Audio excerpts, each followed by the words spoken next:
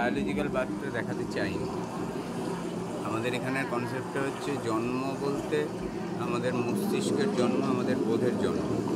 মানে একটা মানুষ প্রথম জন্মাবার পরের থেকে যে লাইফটা লিড করে, ওই সময়টুকু ওই সময়কালের মধ্যে প্রতিটা মুহূর্তেই মানুষের মানে অনেকবার করে জন্ম।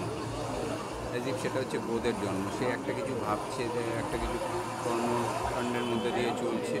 এবং সেটা যখনই শেষ হয়ে যাচ্ছে সেই ভাবনাটার সেই সময়টার মৃত্যু হচ্ছে আবার নতুন করে সে জন্মাচ্ছে নতুন একটা ভাবনা। এই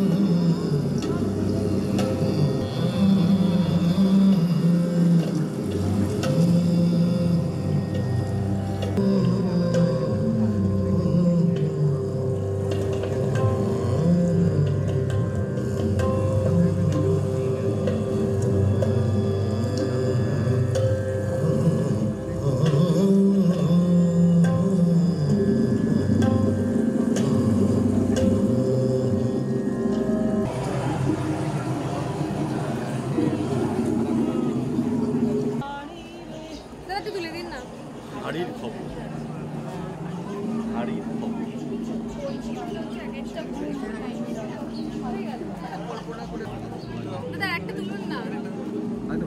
ভালো লাগবে।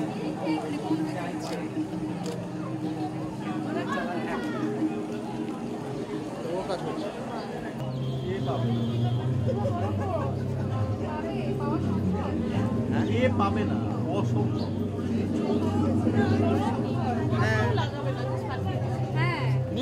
เท่